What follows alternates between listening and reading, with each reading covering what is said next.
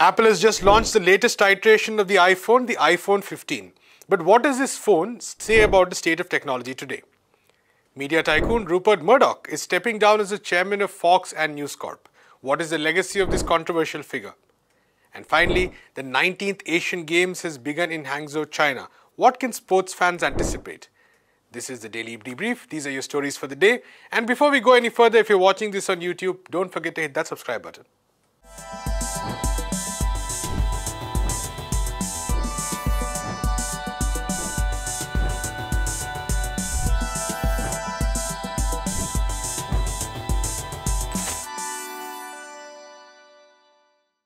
Apple fans, especially those with deep pockets, have had reason to celebrate as the latest model of the iPhone, the iPhone 15, has been launched. Now, the regular launches of various iterations of the iPhone are news not only for fans of the brand, but also for those watching the tech space because of what it says about the state of technology today. To get answers on some of these questions, we go to our resident tech expert, Bappa Sinha. Bappa, thank you so much for joining us. It's not often that we do a segment which starts off with a tech review, but I think there are deeper uh, technological and political trends at play that we'll also talk about. But first, uh, since the iPhone has been launched, uh, maybe a quick, uh, let's just maybe quickly take us through what you think is significant or maybe not so significant about this launch. Right. So, uh, in, for the last few years, the launch of the new iPhone is a big event, right? Because iPhone uh, kind of represents the most premium product in the market. Apple is the uh, largest cap uh, company by market cap. So there is a lot of excitement about the launch of an iPhone, and Apple kind of launches a new iPhone around once a year or once in one and a half years. And um, so the iPhone 15 was launched this year. And um, like with every iPhone launch, there were a lot of uh, speculation, a lot of excitement on what the new iPhone will bring, what all new features it will bring. Um, unfortunately, it has turned out to be a bit of a dud, right? Uh, because uh, the, the, the iPhone 15 doesn't seem to have any new uh, path-breaking features which people have kind of come to expect of the of Apple, and uh, it's um, really in all ways it's just incremental progress over the iphone 14 there is no real pressing need uh, pressing new exciting feature which will make people kind of dump their old iphones and buy uh, the new iphone.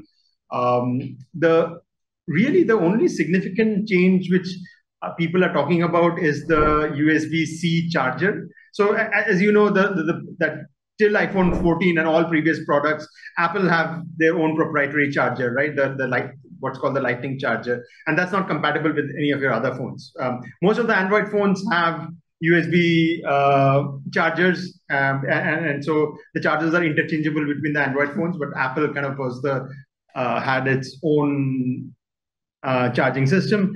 Uh, that changes with iPhone 15. So Apple has finally uh, jumped on the USB uh, C bandwagon. Apple is pitching it as a feature, though it, it's really not.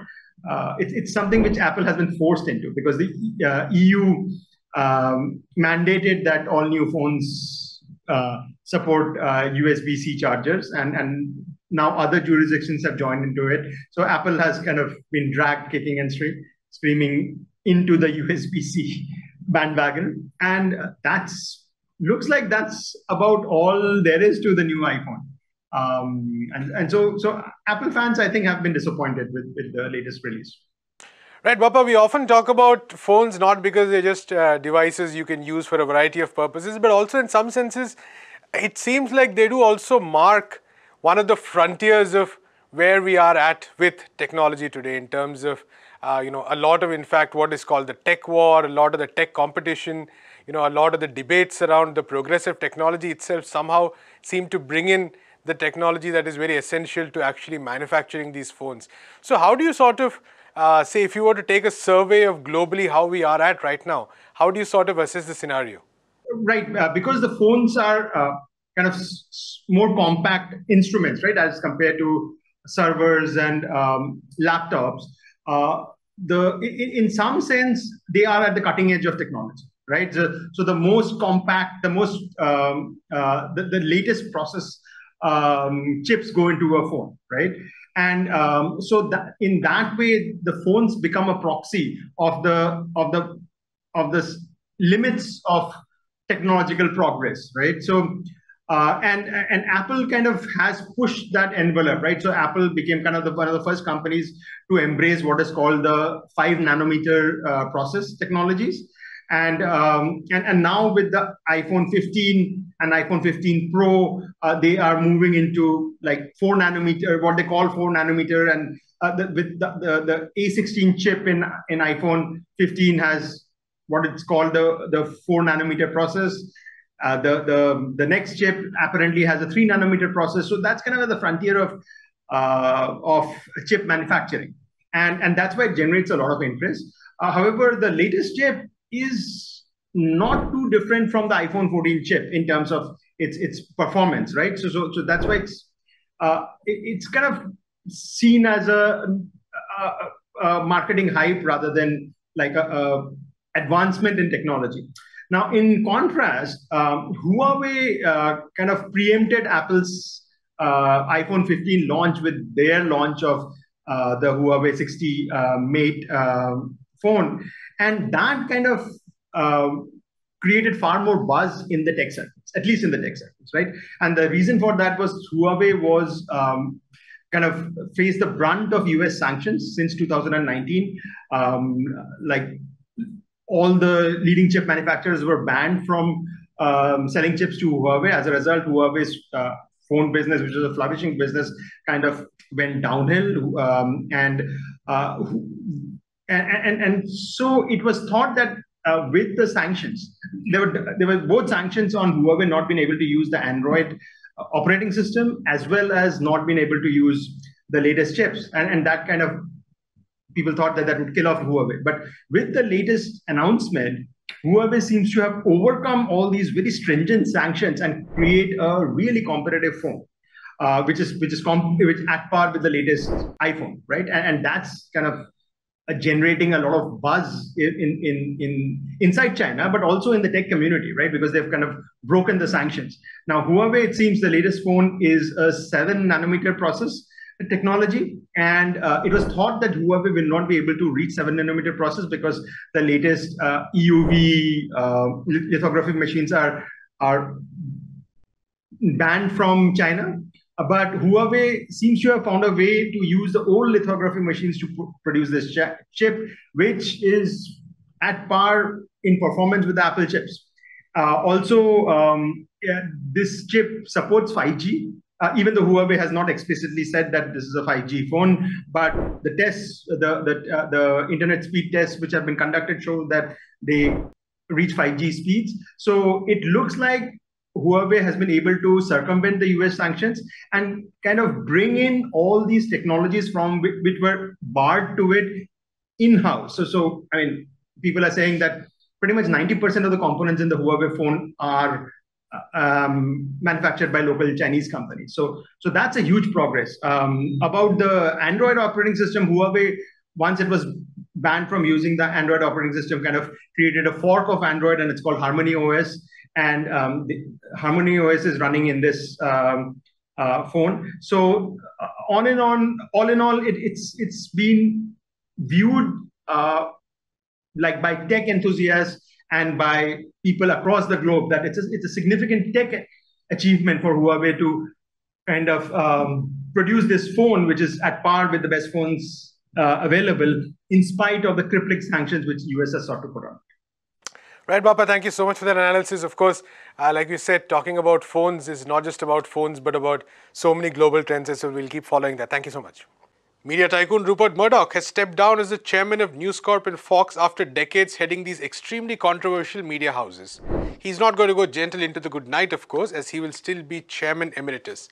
Now, the 92 year old Murdoch did transform the media space in many countries, but not in a good way, really. It won't be wrong to say that his empire began a race to the bottom and everyone followed, and all of us consumers and news watchers are suffering for it. To understand the legacy of Murdoch, we go to Anish.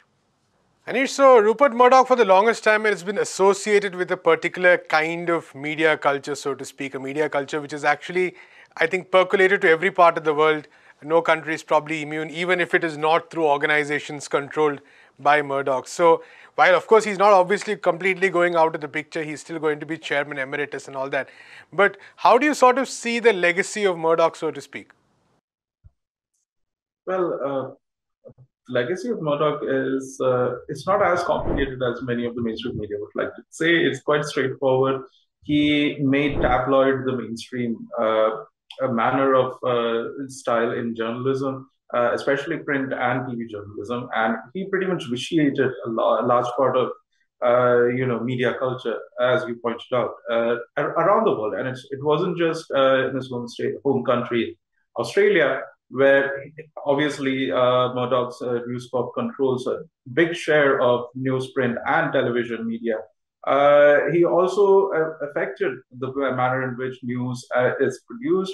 News is uh, uh, covered in different parts of the world, especially the United Kingdom, in use, United States, Canada, and so on. Especially Anglo-Saxon world has seen that effect that the Murdoch media has had, and it and as much as many of the other groups, media houses would like to pretend otherwise, it has also affected their style as well Many of them have uh, taken to the kind of tabloid style uh, in more or less different, uh, you know, in different uh, degrees, but definitely they have taken to it. They have taken to that level of sensationalization. They have taken to that level of alarmism, and obviously the kind of narratives that they set up. And uh, that is pretty much how uh, Murdoch has vitiated. and this is just without monopolies in most of these countries. Apart from Australia, he doesn't uh, did not really have that major monopolistic uh, tendency in other places like the US or UK. But definitely, it actually, uh, even at, at certain levels, they started setting political narratives for political parties, even in different parts of the world. And that clearly shows this, you know, media empire as having a significant impact uh, that uh, we don't really see on the face value of it.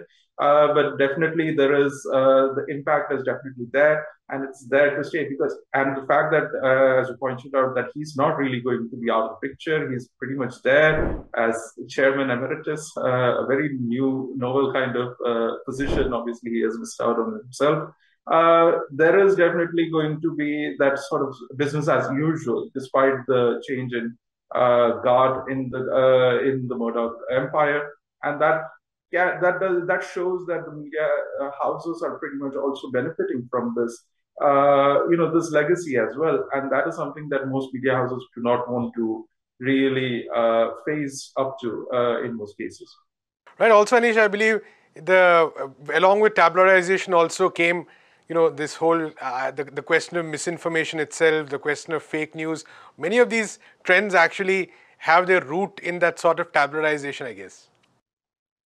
Definitely. Uh, in many ways, this, uh, you know, this whole trend of, you know, sending out quick news, uh, you know, flashy bulletins and, you know, flashy headlines uh, created a situation where more than actually being factually correct, it was more important for you to get the news out first.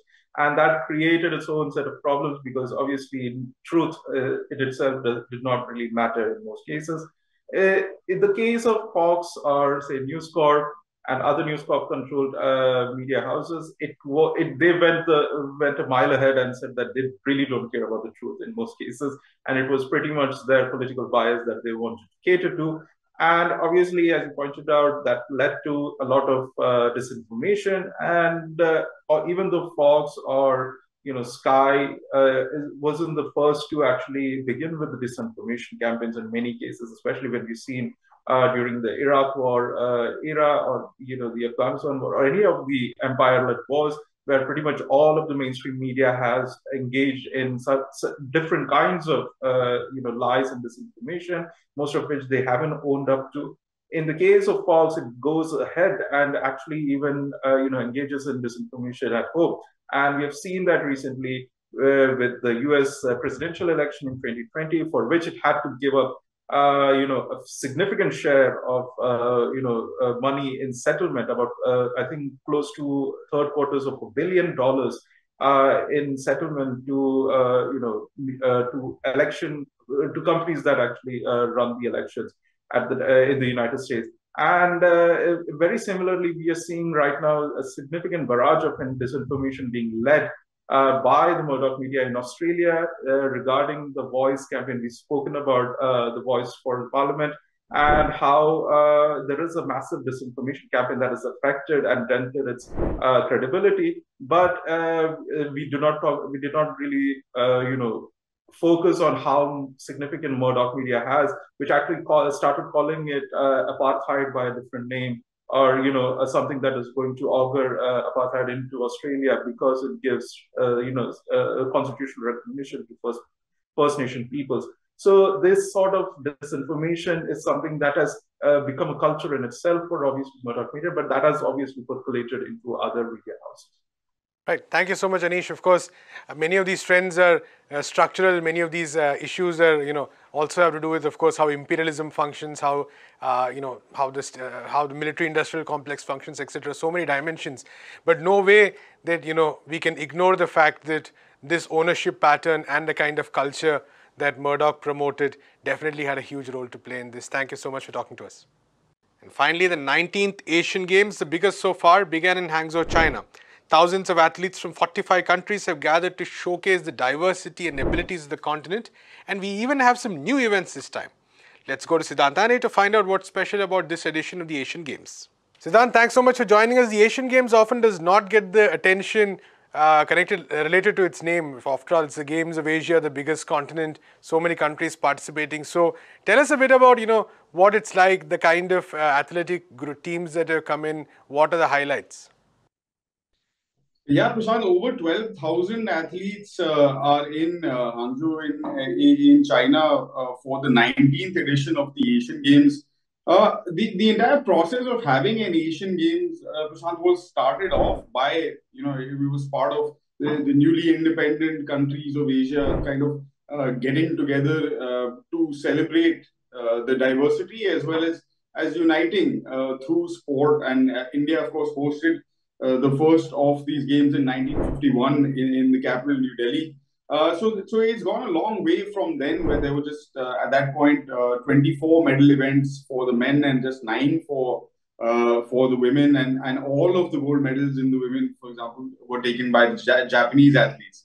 Uh, so, of course, sport in general, but also sport in Asia has has has grown tremendously over that time, and uh, at this edition of the Asian Games, we have 37 sports uh, that are actually being competed in, uh, including uh, some uh, that uh, in the category of mind sports. So games like chess, bridge, and esports has been included for the first time as a medal event as well, which is a huge, huge thing, both in terms of, of course, the market that the video game industry and esports presents, the popularity of the sport around the world, of course, uh, and also uh, its growing push uh, to become part of the Olympic program. So, so in addition to the 28 core disciplines that are part of the Olympic Games, the Asian Games has an, another, an additional nine events uh, as well. So, so it is really, really a massive 44 venues, if I'm not wrong,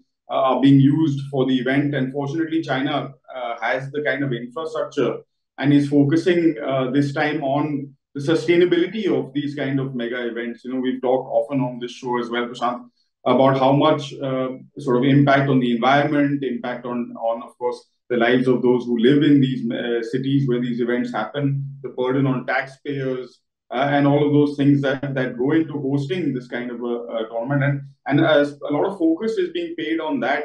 Uh, if you look at the, the logo that was designed for the event, it symbolizes waves uh, of water, of course, but also uh, it's meant to symbolize an athletics track and the signal that you know we are now very accustomed to the Wi-Fi signal, so radio waves in that sense. So, so, and the opening ceremony, which just concluded a few minutes before we started recording, Prashant, uh, two-hour long opening ceremony was a celebration of many of those things from uh, a Chinese perspective, of course, as, as the host country. Uh, the president uh, Xi Jinping was was present at the opening ceremony as well. So showcasing, uh, of course, the the socialist project in China and how its successes uh, Chinese traditions and, and, and you know the natural uh, diversity and beauty that exists there, but also bringing in aspects of uh, technology, artificial intelligence. Uh, the fireworks, for example, that were used uh, at this event were not real fireworks; they were electronic fireworks, smokeless fireworks. Uh, so, so a lot of attention is being paid. Even even the the, the flame that symbolizes, you know, the eternal flame that symbolizes the Olympic movement uh, even that is a zero emissions uh, flame this time around. So, so aspects of uh, real life being brought into uh, these games uh, on this uh, occasion, Prashant, to to at least give people the sense that it's not something that is being that is completely disconnected from reality. And of course, we've also seen some of the politics playing out on the sidelines, the current tensions, for example, between uh, India and China. It was interesting that that the head of the Olympic Council of Asia is, is from India, Randhir Singh, a former member of the International Olympic Committee as well, and he made a speech at uh, at that opening ceremony, welcoming the athletes and, uh, and all of that. Uh, but at the same time, India's sports minister uh, not uh, going for the opening ceremony because of diplomatic tensions between the two countries. so, so those things will also play out. Several heads of state were present uh, the prime ministers of Nepal, of uh, Timor Leste, uh, and and other dignitaries from around the world were there. So so it becomes also. I, I, suppose a platform to engage in some of these regional conversations uh, that are so important and that we discuss so frequently on Daily Debrief. Right, Siddhant, thank you so much for that. We'll keep tracking the events as it go, and also, as you said, it's a combination of both, uh, you know, uh, uh, both aspects reflected some of the tensions because uh, the Chinese didn't apparently grant recognition to athletes from India's state of Arunachal Pradesh, but also the fact that there are solved all these spaces of coming together as you talk about. So I guess multipolarity is also something like that, that constant push or pull. So we'll keep tracking a lot of that happening in coming weeks in the Asian Games. Again, thank you so much. Absolutely, Prashant. And, and because uh, we have the Paris Olympics also uh, in 2024 coming up very soon and, and you know coming out of the pandemic uh, this is also where a lot of asian athletes will have the opportunity to qualify for uh, for for the olympic games so so that's another aspect why uh, they assume special importance this time around absolutely thank you so much siddhant and that's all we have in this episode of the Daily Debrief. We'll be back on Monday with a fresh episode of developments from around the world. Until then, keep going to our website, peoplesdispatch.org. Follow us on all our social media platforms and on YouTube. If you haven't hit that subscribe button already, please do.